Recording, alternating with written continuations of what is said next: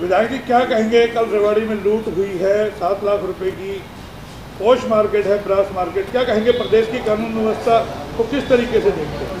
आज देखिए, हालात ऐसे हो गए हैं। हमारे रेवाड़ी शहर के अंदर के कि आम बात हो गई है लूट डकैती।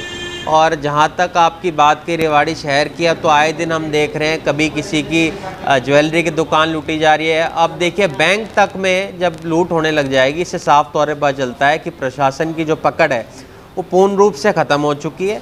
और मैंने तो पिछले दिनों में जब कमेटी की मीटिंग भी हुई थी, तब भी मैंने यह बात कही थी कि भी पूरे शहर के अंदर सीसीटीवी कैमरे लगने चाहिए। उससे क्या होगा, आज दहशत का माहौल आज व्यापारी भाइयों के अंदर है। तो कहीं ना कहीं ये जो कमी है, ये पुलिस प्रशासन की है और मुझे लगता है जल्द से जल्द कार्रवाई करते हुए इसके ऊपर लोगों को निजात दिलानी चाहिए। क्योंकि अगर जो भय का माहौल आज आम शहर के अंदर हो गया है तो कहीं ना कहीं मुझे लगता है प्रशासन को इस पर अपनी पकड़ बनाने की ज़रूरत है। रेवाड़ी में एक के बाद एक वारदात होती है, सीसीटीवी में कैद हो जाती है, तस्वीरें सामने आती है, लोग पकड़ नहीं पाते हैं। टंडूवाड़ा में घर में घुस करके दो चोर चोरी कर लेते हैं। बाइक, यहाँ का सात लाख की लूट होती है, थोड़ी देर बाद वहाँ से बाइक चोरी हो जाती है। तो क्या लगता है कानून व्यवस्था या पुलिस जो हमारी जो सुरक्षा का दावा करती है, कहीं ना कहीं खिलाफ साबित हो रही है उसमें? देखिए, आज जो आज जो पुलिस प्रशासन है, पूर्ण रूप से जो इसकी लचर व्यवस्था साफ़ हमें नज़र आती है। आपने बाइक की बात की, चोरी हो जाती है, लूट हो जाती है। पिछले दिनों में आपने देखा होगा, एक ज्वेलरी की दुकान के अंदर चोरी हुई थी। तो आए दिन लोगों हमला कर रहे हैं लोगों के ऊपर तो कहीं ना कहीं इससे पता चलता है कि या तो पुलिस प्रशासन की पकड़ है। और सरकार का जो दबाव होना चाहिए प्रशासन के ऊपर, वो भी साफ़ तौर पर नज़र नहीं आता है। पिछले दिनों में एक वीडियो आ रही थी जिसके अंदर एक युवक ने घर के अंदर से, जहाँ सीसीटीवी लगा हुआ था, साइकिल की चोरी कर लिया। तो ये आम बात हो गई है। पहले एक चोरी हुआ करती थी तो लोगों को लगा करता था कि भाई कोई ये घटना हुई है। पर अब तो आए दिन लोगों को आदत सी हो गई है इस चीज़ की। आपने देखा होगा, कल हमने खबर चलाई है भिवान महेंद्रगढ़ की। जहाँ एक युवक का वीडियो वायरल हो रहा है पीट पीट करके दर्जन भर लोग मारते हैं, चार दिन पुराना वीडियो, लेकिन कोई गिरफ्तारी नहीं होती। क्या लगता है, पुलिस की लचर व्यवस्था है? आम आदमी भयभीत है। किस तरीके से जिए? देखिए की खामियाँ हैं या सरकार संभाल नहीं पा रही है प्रदेश को या प्रशासन जो है लापरवाह है किस तरीके से नज़र आता है? आप देखिए मॉब लिंचिंग की जो घटनाएँ आज आम हो गई हैं। आप हम देखते आए दिनों लोगों के ऊपर इस तरह की घटना हो रही है। आप महेंद्रगढ़ की मैंने आपकी वो वीडियो भी देखी थी जिसके अंदर कई सारे युवक मिल के एक युवक को पीट रहे थे। तो इससे पता चलता है कि ना तो प्रशासन की पकड़ पूरे प्रदेश के अंदर ख़त्म हो चुकी है। आज हर वर्ग इस सरकार से दुखी है।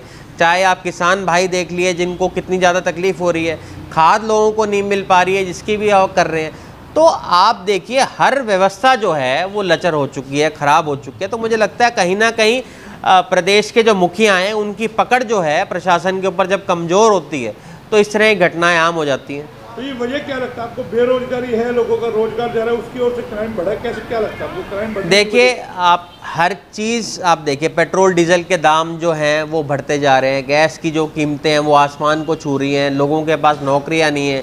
किसान के पास काम करने के लिए जो खाद उपलब्ध नहीं है लोगों को बाजरे के रेट ठीक नहीं मिल रहे हैं। मतलब इतनी ज़्यादा चीज़ें एक साथ हो गई हैं कि आज लोगों को इस तरह की घटना जो है वो आम होती जा रही हैं।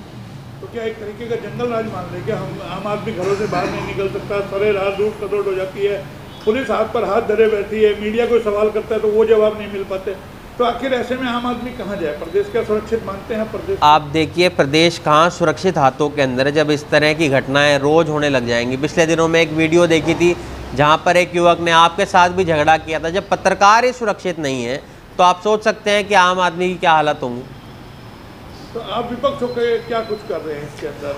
आप देखिए, हम तो आए दिन आप देखिए, मेरे को लगता है कांग्रेस पार्टी, अकेली ऐसी पार्टी है जो आए दिन पेट्रोल, डीजल के दाम पे प्रदर्शन करती हो, चाहे घरेलू गैस बढ़ रही है, उस पर कर रही हो।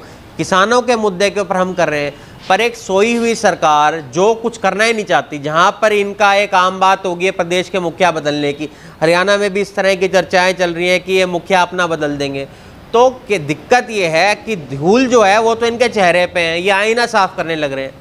तो आम बात ये हो गई है, लोगों की जो दुख तकलीफ़ है, वो सरकार का जब मुखिया है, यहाँ के मंत्री हैं, वो समझ नहीं पा रहे हैं। तो मुझे लगता है कहीं ना कहीं जो सत्ता का नशा है, इनके ऊपर सवार हो चुका है। आगे आपको ध्यान होगा, लखीमपुर खीरी में जो घटना हुई, उसको लेकर के प्रिया गांधी का जो रूप देखने को मिला, नहीं लगता सरकार, जो प्रियंका गांधी ने कहा, हम डरते नहीं हैं और इनके खिलाफ हम सड़कों पर उतरेंगे। वो आप लोगों को भी यहाँ दिखाना पड़ेगा, तब शासन प्रशासन देखिए, पिछले दिनों में आपने देखा था कि जो रोड की क्वालिटी है, वो ठीक नहीं थी। कंपनी बाग के अंदर हो रही थी, वहाँ कैप्टन साहब खुद वहाँ पर पहुँचे और उसकी ठीक वहाँ पर कराया गया। पिछले दिनों में डंपिंग स्टेशन पे आपने देखा होगा, जो लोगों को तकलीफ़ हो रही थी। तो कांग्रेस पार्टी के हम जो पदाधिकारी हैं, चाहे हमारी प्रियंका जी हो, राहुल जी हो, हमारा तो काम ही यही है कि लोगों के मुद्दे को हम उठाएँ। पर जहाँ एक सरकार बिल्कुल ही सोई हुई है, जिसको मतलब ही नहीं है लोगों से, मुझे लगता है कहीं ना कहीं ये समझ चुके हैं कि अगली बार इनको सत्ता के अंदर आना नहीं है और सत्ता सुख और मलाई खाने की आदत इनको हो गई है कि इनकी चमड़ी बहुत मोटी हो चुकी है।